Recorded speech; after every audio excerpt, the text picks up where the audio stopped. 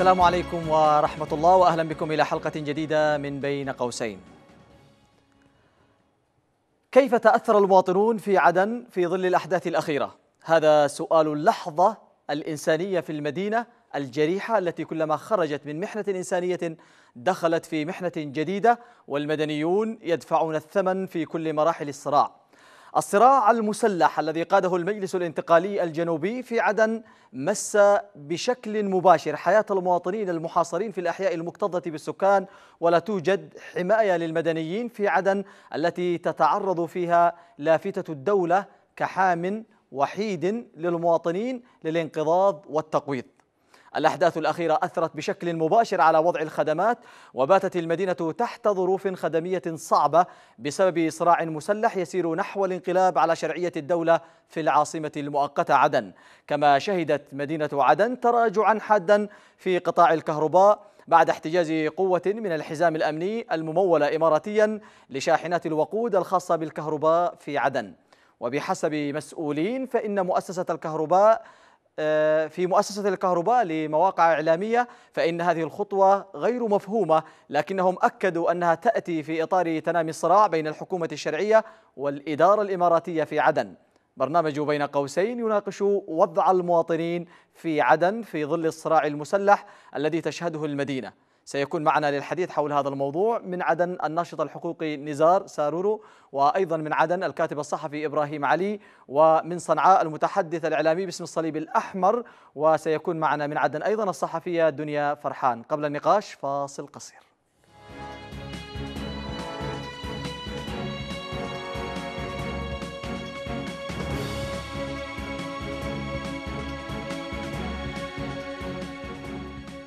حياكم الله مشاهدينا الكرام. اذا في هذه الحلقة من بين قوسين وفي ظل الأحداث الأخيرة الذي تشهدها عدن في هذه اللحظة هناك وضع إنساني صعب تمر به مدينة عدن. هناك مناشدات من بعض الأحياء السكنية التي فيها الاشتباكات وحدثت فيها المواجهات مؤخرا. الجميع في عدن من المواطنين والمدنيين في حالة من الخوف حالة من الرعب. وأيضا هناك في بعض الأحياء من هم محاصرون ربما استمرت لثلاثة أيام أو يومين منذ انطلاق الصراع بين المجلس الانتقالي وبين ألوية الحراسة الرئاسية والقوات الموالية للشرعية في عدن. نقف اليوم في بين قوسين عن كيف انعكست هذه الأحداث على حال المواطنين في عدن. كيف مست حياة الناس حياتهم المعيشية انقطاع الكهرباء انقطاع المياه عدم توفر الخدمات. حالة اللا دولة التي للأسف الشديد هي الآن يعني تعيشها عدن. الجميع في حالة من الترقب في حالة من الذهول. سنقف اليوم بصورة مباشرة نتحدث عن الناس وحالهم. لدينا يعني ضيوف سيتكلمون عن الوضع الإنساني بشكل مباشر. ما الذي تحتاجه عدن في هذه اللحظة من المواطنين؟ ما الذي يتمنوه المواطنين في عدن؟ كما نوهت سابقا سيكون معنا هناك العديد من الصحفيين والمتحدثين من مدينة عدن وسينضم إلينا من صنعاء. معذرة المتحدث باسم الصليب الأحمر. إذا إلى أن تجهز هذه الاتصالات بضيوفنا الكرام عملنا استطلاع من مدينة عدن حول هذه الأوضاع الجارية ما الذي يتمناه المواطنون؟ نتابع هذا الاستطلاع ومن ثم نكمل الحديث. ابقوا معنا. كل المشاكل اللي داخل عدن حصلت لنا نحن أكثر في محافظة أبيان. تنقطع عليهم الخطوط تنقطع نحن طالبين الله ندخل لعدن. وثانيا تجي أموات من داخل عدن لداخل أبيان. طيب هنا لما تجي في خط مقطوع داخل المنطقة مثلا في دوفس لك اليوم ما فيش قزعه ولا, ولا دخلة ولا خارجه ليش؟ بسبة الفوضى اللي داخل عدن والمشاكل تمام؟ نحن نجي نشتري اليوم اشتريت أنا حبتين بيض 60 ريال. بكرة بقول لك 80 اليوم ب 80 تتفاجئ يعني. يعني كل ساعه يطلعوا لك سعر. من؟ يتلاعبوا عليه التجار اللي داخل المحافظة هنا. المشاكل اللي حصلت داخل عدن هي يعني أثرت كثير جدا. يعني ال ال إذا المواطن يعني حصل الغداء ما حصل العشاء. بسبب إيش؟ بسبب ان إن الرواتب انقطعت. وكانت أمل كل مواطن بالرواتب الشهرية لكي يوفروا لهم لقمة العيش، لكن المشاكل اللي حصلت داخل عدن قفلت على الدائره الحكومية والبنك المركزي. ولكن يعني اسفا إن يعني المشاكل سببت يعني لا لا لا الضحية هو المواطن في هذا الكلام. والله تأثرت في غلاء الأسعار تأثرت في قطع الطرقات في المياه في الكهرباء يعني في كل مجال الحياة تأثرت نعم.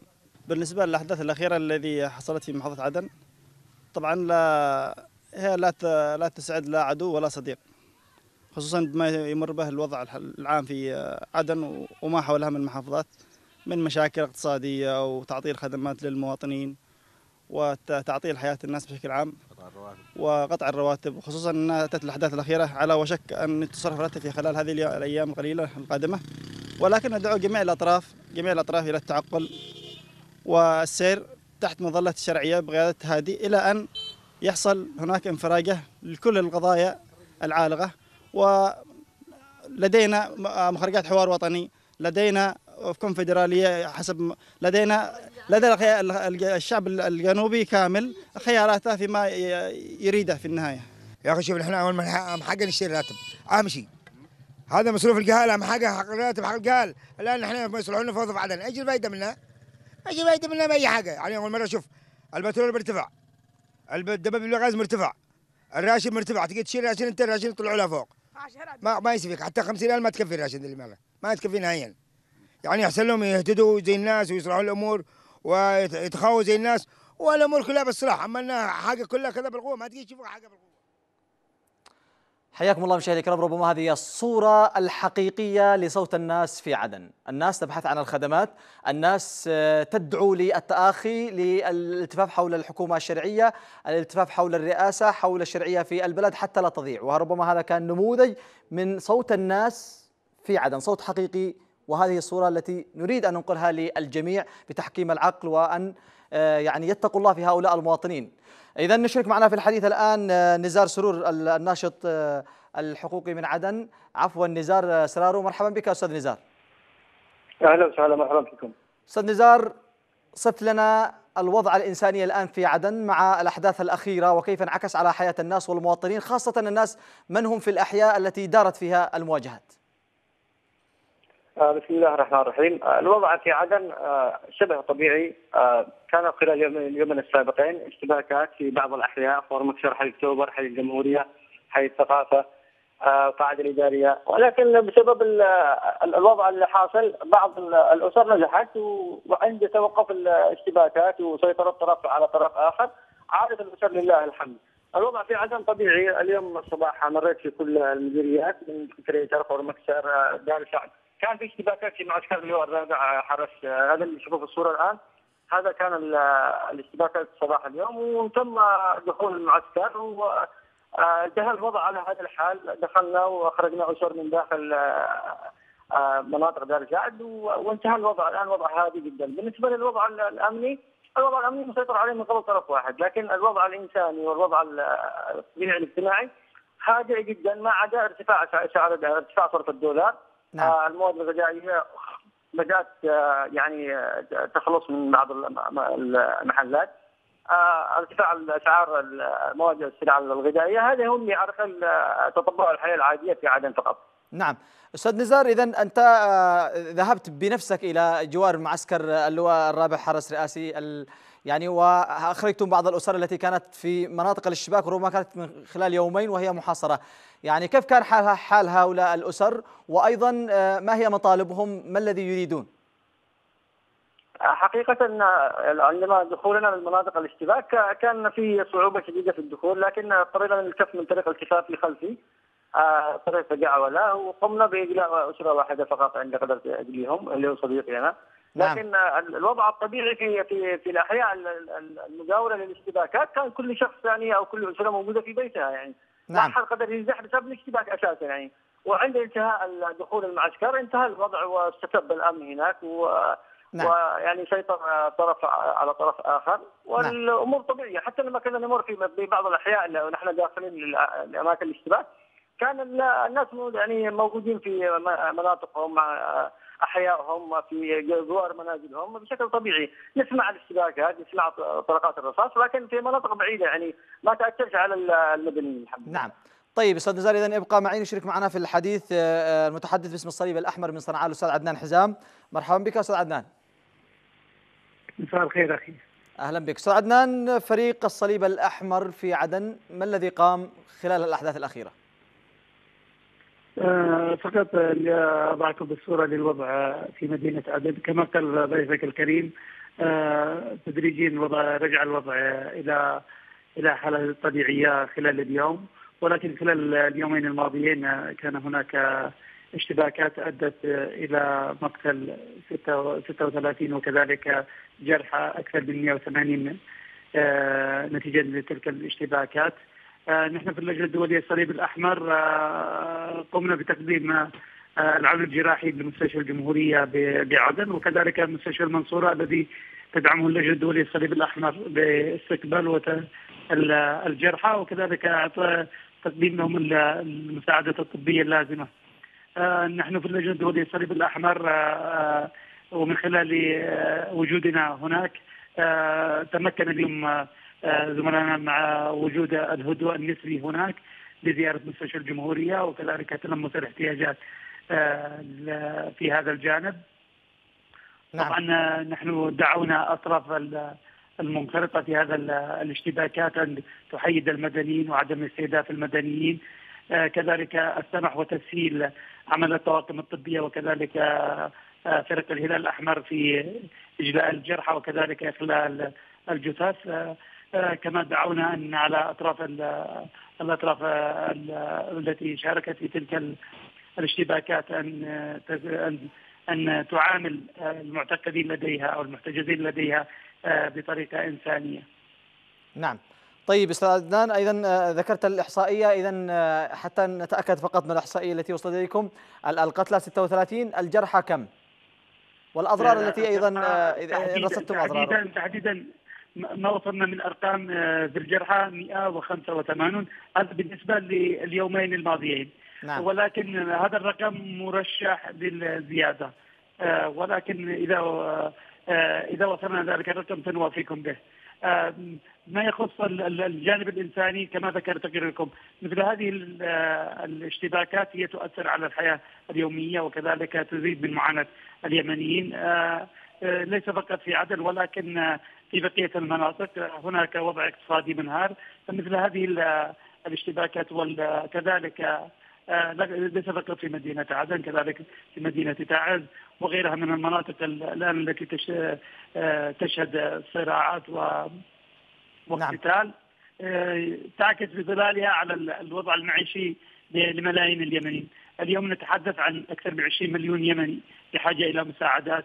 هناك بنية خدمية شبه منهارة آه، في جميع القطاعات الصحية والمياه وغيرها من القطاعات الخدمية الهامة الأخرى. المشهد الإنساني في اليمن للأسف الشديد آه، لا يوجد هناك تحسن بالعكس هناك مؤشرات آه، للأسف الشديد آه، سيئة وخاصة في المجال الصحي والغذائي.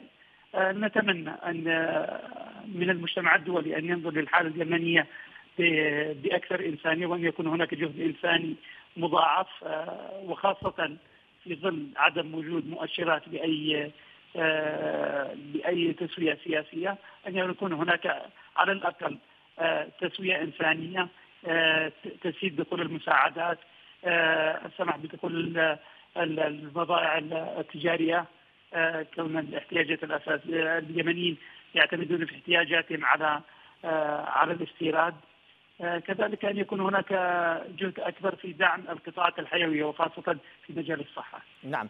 أستاذ عدنان آه، فقط آه، يعني آه، من وصلوا منكم ورصدتموهم سواء من القتلى والجرحى هل هم من المدنيين أم هم يعني من العسكريين أم هم من الطرفين يعني؟ هذا هو اجمالي العدد لما للاصابات التي حدثت خلال اليومين الماضيين. نعم فقط هل كانوا مدنيين من بين الضحايا؟ مدنيين وكذلك من المقاتلين. نعم. طيب الآن آه، أستاذ عدنان آه، الخطوة القادمة الآن لكم أنتم الآن. هل يعني لديكم مثلا هناك معونات إغاثية تريدون تقديمها لأبناء عدن؟ على الأقل من هم كانوا في مناطق المواجهات وأصبح يعني وضعهم سيء حتى آه، يتم توفير لهم ما يحتاجون على الأقل في هذه الفترة؟ الوضع في عدن هو مقارنة بالوضع الإنساني أو الأمني هناك آه، نتيجة للاختلالات الأمنية أو ما حدث من اشتباكات. هي ساهمت في معاناة المواطنين في مدينة عدن. نحن في اللجنة الدولية للصليب الاحمر نراقب الوضع عن كثب في المدينة. نحاول أن نقدم العون الطبي بدرجة أولى ودعم أنشطة انقاذ الحياة في المجال الصحي. اذا كان هناك احتياجات أخرى نحن متواجدين في المدينة سنقوم بما يمكن تقديمه لتخفيف من تلك المعاناة. نعم. طيب أستاذ عدنان ابقى معي وأعود اذا إلى الأستاذ نزار سارورا أستاذ نزار اذا سرارو عفوا. الآن الحياة كما تحدثت عادت إلى طبيعتها. الخدمات هل عادت إلى طبيعتها؟ الخدمات من كهرباء ومياه عادت إلى طبيعتها كان في اليوم الأول من الاشتباه انقطعت الكهرباء بسبب ضرب محولات الكهرباء في محطات شحناز بجوار المجمع القضائي وتم إصلاحه بعد 24 ساعة بالضبط عندما هدأت الاشتباكات وقدرت فرق الإصلاح الكهربائية تدخل المناطق لإصلاح الخلل. نعم. جمهوريه وحي اكتوبر والقاعدة الإدارية. الحقيقة الآن كان يقال إنه ضربوا خزانة المياه بسبب الاشتباك تاثرت إلا أن المياه عادت بشكل طبيعي، الكهرباء بشكل طبيعي، كل الأمور الحياتية حتى البترول في المحطات تم تزويدها المحطات الحكومية تم اليوم الصباح في المنصوره كان في محطات تشتغل بتزويد البترول. كل الأمور طبيعية فقط. الحالة الاقتصادية عندنا في في عدن سيئة جدا بسبب ارتفاع سعر صرف الدولار وارتفاع أسعار المواد الغذائية بشكل كبير جدا، لا يستطيع المواطن العادي الطبيعي الذي راتبه لا يتعدى ال 50 دولار أو ال 100 دولار أن أن يستمر في الحياة لمدة شهر بهذا المبلغ. رواتب الموظفين الآن توقفت بسبب الاشتباكات اللي حصلت، اغلاق البنك المركزي سبب عدم قدرة البنك إلى دفع مرتبات الموظفين. نعم. الصرف. طيب. وأنا سيعطي الأذن بالصرف. نعم. أستاذ نزار فيما يخص هل تلقيتم شكاوى أو رصدتم حالات انتهاكات خلال اليومين الماضيين حدثت للمدنيين؟ بالنسبة للمدنيين حالات انتهاكات لا بالنسبة لي أنا كشخص متابع للأمور عن كتب لا لا لم أرصد أي حالة انتهاكات للمواطنين فقط اللي هو إصابات عن طريق القذائف الراجعة أو الساقة أو القذائف التي تخطأ الأهداف تنزل في الأحياء السكنية. كان في حي أكتوبر أربعة مصابين فقط يعني هذه الأمور. أما بالنسبة للانتهاكات ضد المدنيين بلا بالعكس يعني ما كانش في أي انتهاك ضد المدنيين. لأن المتقاتلين كانوا فريقين معروفين لابسين زي موحد. هذا لابس زي الجيش الفريق الأول والفريق الآخر لابس زي الجيش. وهم يتقاتلوا والمعروف يعني الموضوع. نعم. كيف كيف كان حال الناس عندما يرون الأخوة يتقاتلون وكيف انعكس على وضعهم وعلى نفسياتهم وعلى آرائهم؟ بالنسبة للوضع يعني المشاعر اللي كانت نشعر فيها بأثناء القتال بين الأخوة كنا نشعر بنوع من من الحسرة وال وال والضيق بأن الأخ يقتل أخوه والجنوبي يقتل الجنوبي وال والجنوبي يأسر الجنوبي ويرد هذا بقتل يعني كل شخص يعني يبحث عن قتل الآخر. لم يتم تسليم الإسلام بشكل يعني هادئ لا بل تم في مقاومة. كان في احتقان من من البداية. من أول ما تحررت عدن كان الوضع اللي حاصل أن الحكومة عملت على بفصيل معين أو بمنطقة معينة بتسليحهم بتجهيزهم بعمل كل الأمور التي تساعد على الاقتتال الداخلي مستقبلا. فعملت على دعم فريق على فريق وبالتالي أصبح الفريق المدعوم يعني أقوى من الفريق الفريق الآخر. والسبب الآخر والمشكلة الأساسية اللي قامت بسبب هذا الاقتتال هو وجود طارق عفاش في عدن. وإسقاط حكومة بن بغر، الآن حكومة بن بغر لا توجد. وطارق عطاش لا زال في عدن وبالتالي نحن اقتتلنا على أي أساس يعني على أي أساس تم الاقتتال وانتهى الموضوع. ولا زال الشيء اللي بسببه الاقتتال متواجد لا زال متواجدا في عدن. فكيف اقتتلنا وخلصنا وانتهى الموضوع؟ يعني مساله مسألة مصالح مسألة استيلاء على السلطة. ما حد يعرف إيش الموضوع بشكل يعني متكامل بسبب ضبابيه الأحداث اللي حصلت. كيف تم الاقتتال ولماذا؟ ولأي سبب؟ نعم. طيب أستاذ نزار فقط حتى اودع الأستاذ عدنان حزام المتحدث باسم الصليب الأحمر، ما هي مطالب الناس من المنظمات الدولية كمدنيين في عدن؟ أهم سؤال أو أهم إجابة تكون على هذا السؤال هو توفير سلة غذائية شهرية لكل أسرة داخل عدن بسبب ارتفاع الأسعار. التطبيب لازم أن يكون مجاني آه، لأن الناس لا تستطيع أن تتحمل تكلفة العلاج. الاسعار أسعار المواد الغذائية أصبحت مرتفعة بشكل كبير. على على المنظمات الدولية الداعمة من صليب أحمر من هلال أحمر من آه، آه، يعني كل المنظمات الدولية ومن الأمم المتحدة التابعه للامم المتحده ان أن توفر سلة غذائية. ينسق فيما بينها البين بتوفير سلة غذائية أو سلتين كل شهر آه، لكل أسرة داخل عدن على مدى على مدى سنة أو ستة أشهر على الأقل لتخفيف وطاعة الأزمة الاقتصادية الحاصلة في عدن وارتفاع سعر الدولار بسبب هروب الدولار من عدن بسبب الحكومة، الحكومة شهريا تستلم ملايين الدولارات كرواتب وتحولها من داخل عدن إلى الخارج، هذا هو سبب شح الدولار في عدن وارتفاع سعره واللي هو الحكومة نعم. آه، واستلام مرتباتهم واخراجها إلى خارج نعم. عدن. طيب آه، أستاذ نزار آه، سارورو ابقى معي فقط سأعود إلى صنعاء مع الأستاذ عدنان حزام في سؤال أخير وهو سؤالك يعني ما تتمناه من المنظمات هو توفير سلال غذائية للمحتاجين بسبب الظروف الصعبة التي تمر بها اليمن وعدن مع الأحداث الأخيرة، أستاذ عدنان هل من حل لدى الصليب الأحمر في هذا المجال توفير سلال غذائية للمحتاجين في عدن؟ آه، كما ذكر ضيفك الوضع الاقتصادي هو ما فاتم من المأساة الإنسانية في اليمن. آه، مما جعل ليس فقط مدينة عدن ولكن كل اليمن بحاجة إلى مساعدة وخاصة كما قلت في الجانب الصحي وكذلك الغذائي. آه، نحن في اللجنة الدولية الصليب الأحمر مع جهود المنظمات الأخرى نحاول التخفيف من معاناة اليمنيين نتيجة لهذا النزاع الذي آه، له أكثر من ثلاث سنوات.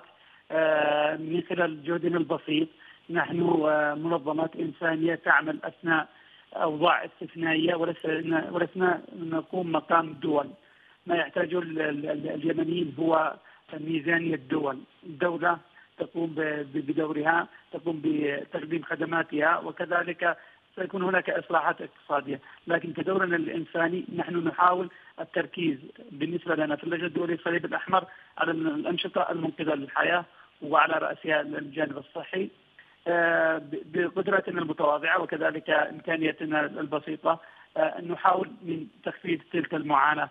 ولكن بالمجمل اليمن يحتاج إلى جهد كبير جدا إلى أن يكون هنا على المجتمع الدولي أن يضاعف الجهد الإنساني في اليمن آه، وأن يكون هناك استجابه أكبر نعم. لتلبية الاحتياجات المهولة. نعم. أستاذ عدنان حزام الناطق آه، والمتحدث باسم الصليب الأحمر كنت معنا من صنعاء شكرا جزيلا لك وقبل أن أعود للأستاذ نزار نذهب الآن مشاهدينا الكرام نتابع هذه المادة المعلوماتية التي رصدت آه، الأحداث وتسلسلها في عدن منذ بداية العام 2018 حتى اليوم ومن ثم نكمل الحديث ابقوا معنا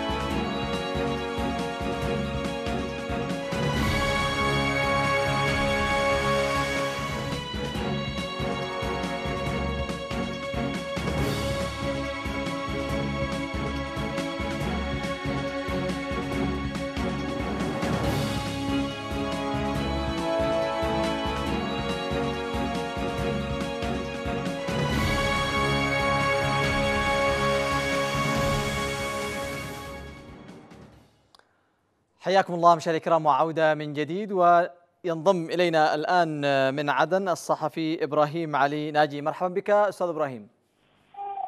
هيا أهلا وسهلا بكم. أستاذ إبراهيم آه، أنت كيف تابعت ما جرى مؤخرا في عدن وكيف انعكس على حياة الناس في المدينة؟ آه والله أنا أعتبرها في عدن ما حدث يعني أعتبر مأساة، مأساة من كل الجوانب، يعني كان هناك أمل أمل لدى المواطن إنه يتحسن آه، المستوى المعيشي، ان يكون هناك أمل أيضا أفق سياسي بعد هذه التضحيات وبعد الأخطاء التي رافقت الفترة الماضية، لكن آه القتال الذي حدث في عدن يعتبر مأساة من كل الجوانب، يعني المنتصر فيه مهزوم. يعني بعد هذه الدماء وبعد هذه الأشياء وبعد ما حدث من بعد ما حدث من يعني المجازر وحدث تصفيات يعني ينبري البعض ويؤكد إنه انتصرت عدن، يعني انتصرت على من؟ آه، أعتقد إنه يعني يجب على التحالف ان أن يعني يراجع آه، الخطوات التي تحدث يعني بناء ميليشيات في الجنوب وبناء ميليشيات آه، في أماكن أخرى لا يخدم العملية السياسيه ولا يخدم اليمن ولا يخدم حتى التحالف الذي آه، يعني دخل اليمن من أجل إعادة الشرعية. نعم. أستاذ إبراهيم تحدث عن حدوث تصفيات، يعني هل رصدتم تصفيات وضد من؟ يعني حدثت تصفيات بعضهم يعني تصفيات من الجانبين حدثت آه لأنه اغلب أغلب آه المقاتلين من الطرف يعني ليس جيش منظم إلا ما ندر يعني بعضهم مثلا دخلوا مشاركين آه، بعض يعني مجندين يعتبروا مقاومة كان اذا إذا حدث آه، واعتقل شخص مثلا الآن لحد الآن في أشخاص إعلانات اليوم يعني اسرهم لا يعلمون أين هم هل هم معتقلين هم في المستشفيات ما حدث أيضا في مستشفى البرية إنه آه، جاءت قوة تريد تصفية بعض الجرحى وتدخل العقلاء وتدخل آه، حراسه المستشفى. نعم. إذا ربما هذا نقاط خطيرة جدا ذكرتها أخي آه، إبراهيم على ناقي تصفيات وهناك العديد من يعني من المخفيين ولا تعلم أسرهم أين ذهبوا. هؤلاء يعني هل كانوا منضوين في الجيش أم كانوا مواطنين عاديين؟ بعضهم مجندين مستجدين. مثلا هناك اليوم إعلان على شخص آه، من منطقة آه، بالضالع الأزالة. قالوا كان يعني عسكر طارق والآن جابوا رقم تلفون وإعلان أنه لا أحد يعلم أين مصيره. آه، كذلك مثلا عشرة طلاب من خرمكسر تم اختطافهم من قبل أشخاص يعني يلبسون الزي العسكري لا أحد يعلم الآن مصيرهم وإلى أين وفي أي سجن في أي معتقل وهل تم تصفيتهم أم لا زالوا على قيد الحياة. نعم في مستشفى البرهي التي آه، قلت لولا تدخل العقلاء كانوا أتوا من يريدون تصفيتهم من يصفي من؟ يعني هناك اليوم هذا يعني قبل الأمس في اليوم الأول انه في آه، ناس آه، يعني قصدي مجندين تابعين للادويه الرئاسية تم نقلهم إلى المستشفى وأتى طرف آخر يريد تصفيتهم. وفي مستشفيات أخرى أيضا حدث نفس الإشكال لولا تدخل العقلاء وتدخل حراسة المستشفى. آه، يعني الحراسة الطامة علما يعني والمؤكد الآن إنه إنه عدن لا زالت على السطيح ساخن. يكذب من يقول إنه طرف انتصر على طرف. لا زالت المعسكرات كما هي لا زال آه، الحشود لا زال أيضا آه، يعني التمترس المناطقي لا زال موجود كما كان سابقا. نعم. يعني إذا لم يضع التحالف حد من مثل هذه يعني مثل هذه الاحتشاد المسلح والمسلح الآخر عدن لا زال يعني مؤهله لاتجاه آخر. نعم. طيب ابقى معي أستاذ إبراهيم وأعود للأستاذ نزار، أستاذ نزار اذا تحدث الأستاذ إبراهيم عن حدوث اختراقات وتصفيات أطراف تريد تصفي أطراف أخرى وأتت حتى إلى المستشفيات وهم جرحى، آه، هناك خوف من انزلاق عدن إلى مربع عنف قادم، أنت كيف ترى هذه النقاط التي ذكرها؟ وهل فعلا عدن مقبلة على وضع مظلم وسوداوي؟ آه، بالنسبة للنقاط اللي ذكرها الأستاذ آه، الخاص بمحاولة اعتقال الجرحى داخل المستشفيات أنا أتكلم بشكل مخ... يعني محدود بالنسبة للمستشفى الجمهورية. أنا ساكن بجوار المستشفى الجمهورية. لم أسمع مثل هذا الأمر ان إن بعض المسلحين أتوا لإلقاء القبض على في مستشفى البريهي يقول. نعم مستشفى البريهي. أنا بفهمك. لكن لكن بالنسبة لبقية المستشفيات قد قد يكون يحصل مثل هذا الشيء. لكن آه، آه، كنا كنا سنعلم بهذا الأمر من خلال الأصدقاء الصحفيين ال- النشطاء آه، اللي سيقومون بنشر على الفيسبوك لإعلام المجتمع رب ربما نعم أستاذ أستاذ نزار يعني آه، الحدث لا زال يعني آني ولا زالت ال- ال- ال- العدن على صفيح نار وهناك لا زالت المعركة قائمة أخي. والاشتباكات. آه.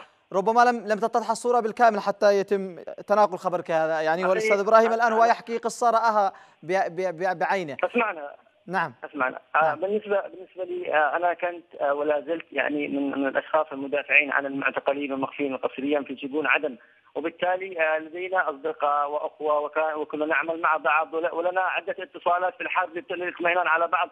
والاخوه يعني في منتشرين في كل المديريات آه، كنوع من الرقابة على على ما يحصل داخل عدن لرصد هذه الانتهاكات، لم نسمع مثل هذه الأمور، لكن قد يكون حدثت حادثة أو حادثتين وتم تلافيها مباشرة، ما لا نستطيع ان ان, أن نعمم بشكل آه، طيب. كامل، ولا نستطيع ان أن نقول أن هذا الطرف المنتصر قام بانتهاكات داخل المستشفيات، لأنه هذه بالذات المستشفيات كنا سنعلم على طول أو بشكل مباشر وفي في التو أن, هناك انتهاكات. على بعض المستشفيات لالقاء القبض على على ال الجرحى. بالنسبة لسؤالك الآخر آه، هذه المعلومة أستاذ أستاذ نزار نعم أستاذ نزار فقط حتى نكون يعني حول هذه المعلومة أيضا آه، آه، الوزير في الحكومة صلاح الصايدي كتب في صفحته قبل ساعات أن هناك حدثت تصفية بحسب الهوية الوزير. تتم في منطقة دار سعد كتب الوزير. بصفحته وهذا وزير نعم الصايدي وزير الوزير الدولة فين الوزير هذا؟ فين فين هذا؟ فين الوزير أساسا؟ فين رئيس الوزراء أساسا؟ ما حد متواجد في عدن إلا أهالي هذا عدن آه الو- المنتصر وزير الدولة. صلاح الصايدي وهو متواجد في عدن وقال قاموا بجولة قريبة لل- للمواقع المحيطة لا يستطيع بمعاشيق وأيضا من منزله وزير وزير وزير داخل عدن لا يستطيع الخروج من منزله لأنه أبسط شيء سيتم اعتقاله كل الوزراء موجودين أو المتواجدين في عدن في بيوتهم ال- الميسري وزير الداخلية متواجد في ريمي ريمي مغلق الخطوط لا نكذب على بعض ولا. نحن معنا عقول نقدر نفكر وزير بأي طريقة يستطيع أن يعرف معلومات عن طريق الهاتف اذا هذه المعلومات ما أنا أعتقد ان إن تكون ذات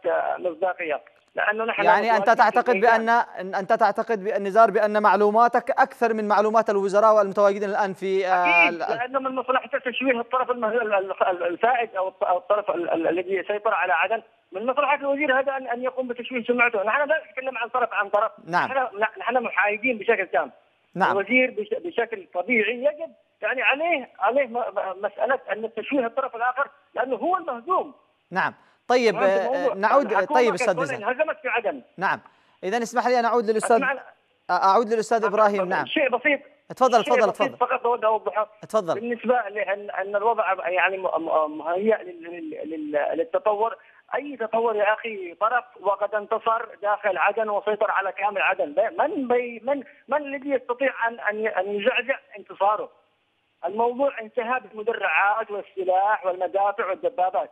الخطر الوحيد على عدن هو دخول الوية من خارج عدن محاولة لفك الحصار على عدن أو محاولة لهزيمة الطرف المنتصر هنا سيكون ال- المدنيين هم الضحية المباشرة في هذا الاقتتال يعني هناك أنباء الحكومة الآن أن آه، أستاذ تتعامل- نزار يعني هل لديك الآن معلومات بأن هناك ربما يعني آه، الويه ستتحرك لفك الحصار على من هم في عدن؟ الطبيعي الطبيعي من قبل حكومة انتهت أو بحكو أو أو رئيس آه، دولة أن يحافظ على آه، سلطته داخل البلاد ان أن يحضر الالويه من خارج من خارج عدن لأن الوية عدن حيدت. يا إما اتجهت لصالح الطرف الفائز أو حيدت بشكل لا لا لا لا, لا تتحرك. وبالتالي اذا إذا كان الشيء يسيطر على عدن من جديد عليه أن يرسل الالويه من خارج عدن إلى داخل عدن. وهنا ستكون الطامة الكبرى. أنا أعتقد ان المستشارين أنت الآن تفترض نعم نعم أستاذ نزار أنت الآن فقط يعني تفترض افتراضات إذا كانوا يعني يبحثون. افتراضا طبعا لأنه مستحيل أن نعم. يتم فك الحصار طيب. على عدن لأن الطرف المنتصر هنا في عدن له شعبية داخل عدن أساسا. نعم. اذا وضحت هذه النقطة. فقط أعود للأستاذ آه، إبراهيم آه، علي. أستاذ إبراهيم اذا الأستاذ نزار آه، ربما إلى حد كبير لا يتفق مع ما طرحته. يقول إن هناك ربما حدثت انتهاكات لكنها ليست بالصورة التي شرحتها أنت. عزيزي يعني هذا آه، الانتهاكات لا أحد يستطيع أن ينكرها. هناك أيضا في, في توفيق لبعضهم. آه يعني عندما يقول الأستاذ نزار انه إنه في هناك طرف منتصر لا يوجد طرف منتصر. يعني عندما يقول المنتصر لا زالت الحكومة في يعني لا زال معاشي لا زال بيد بيد الحكومة لا زال بندغر موجود لا زال الوزراء موجودين. آه الذي حدث إنه القتيل إما جندي من الضالع وإما جندي من عدن إما من لاحق فاين هو الانتصار وما يتحدث به البعض إنه سيأتي من خارج عدن اشخاص أو إنه سيأتي الويه من خارج عدن. لا يأتي شيء. ال- المشكلة انه إنه في عدن نفسه إنه المجلس الانتقالي يستمد آه، اراءه ويستمد أعتقد حتى اوامره تاتي إليه من خارج من خارج المنظومة الجنوبيه نفسها، أيضا المجلس الانتقالي لا يمثل بشكل عام. المجلس الانتقالي يعتبر لحد الآن هو مكون لكن هناك أيضا مكونات لا ترغب فيما ي- لأنها تؤيد إلى ما يجري ما يسعى إليه الانتقالي بشكل عام. بدل من أن يطالب بدوله حسب قولهم بدل ما يطالبوا باستقلال بتحرير اصبحوا يطالبوا بالتغيير وعندما وصلوا إلى نقطة معينة تم آه، دخول التحالف وإيقافهم يعني لم- عندما تنظر المعسكر بدر لا زال موجود التلوية الرئاسية. آه، كذلك لم عدل الا الدور الرابع فقط والذي آه، سلم ال- القيادي حمدي شكري الصبيحي يعني قبل آه، المغرب بتسليم رسمي. نعم. طيب أستاذ إبراهيم اذا اذا اذا أنت يعني عدن لم يعني لحد الآن ما فيش طرف منتصر كما تقول لا زال يعني معسكر بدر تبع الصبيحي موجود وأيضا ذكرت أيضا ال- ال- أن هناك أيضا يعني أبناء عدن ليسوا جميعهم مع التحركات التي قام بها المجلس الانتقالي. آه، هذا الانقسام هل تعتقد أنه سيؤثر يعني مستقبلا ويحدث اختلالات في عدن؟ أم كما قال الأخ نزار أصبح الطرف هو منتصر المجلس الانتقالي ولا يمكن وجود أي صوت يعارضه؟ أعتقد انه إنه آه، عدن لا زال آه، الاثر لا زال باقيا. يعني هناك سيظل قنبلة موقوتة قبل الانفجار في أي وقت. آه، إذا لم يتدارك آه، العقلاء الموقف يعني لا يظن أنه بمجرد معينه تابعه للحزام الأمني إنه بهذا قد آه، انتصر في عدن وقد حقق كل شيء. يعني هناك أمور أخرى. حتى الانتقالي نفسه لا يعلم من خلف الكواليس كيف أقدم على هذه الأمور. أمور قد تكون كبيرة عليه، لكن مع ذلك إنه ال- ال- الالويه الرئاسيه لا زالت باقية والويه لا زالت باقية. في طرف هناك لا زال موجود حتى وإن آه، يعني تم الضخ الإعلامي بانه انتصار وانه تهيأت عدن للانتقال وأنه لحاكم واحد وأنه لاتجاه معين زمن الصوت الواحد أعتقد إنه قد انتهى نهائيا. أشكرك جزيل الشكر الصحفي إبراهيم علي ناجي كنت معنا من عدن وعودة أخيرا للأستاذ نزار، أستاذ نزار اذا أنت أيضا تحدثت في البداية أن يعني ما الشعارات التي رفعت بأنها جاءت هذه ال ال ال الانتفاضة أو الاشتباكات من قبل المجلس الانتقالي من أجل إسقاط الحكومة ومن أجل آه، آه، يعني آه، عودة ال- ال- الحياة أو السيطرة لشعار الدولة يعني بمعنى آخر المطالبة بالانفصال لم يحدث ولم يتغير من ذلك شيء. وأيضا الأستاذ إبراهيم يقول أن عدن ليس فيها أي منتصر، لا زالت هناك معسكرات كثيرة تتبع الشرعية ولا زالت الحكومة متواجدة في الشرعية، متواجدة في عدن، والكلمة الأولى والأخيرة هي للتحالف العربي، فعن أي انتصار أنت تتحدث عنه وتحسب لطرف آخر؟